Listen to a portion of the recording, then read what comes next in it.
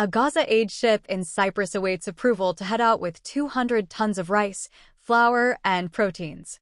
A ship in Cyprus loaded with emergency humanitarian aid was expected to depart as soon as conditions permitted and head off on an estimated 60-hour trip to the Gaza Strip, the charity organizing the initiative said on Saturday.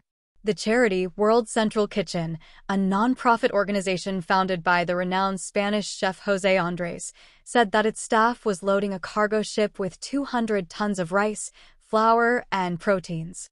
It added that the ship was expected to depart from Larnaca, Cyprus, as soon as possible, which would depend on many factors, including weather.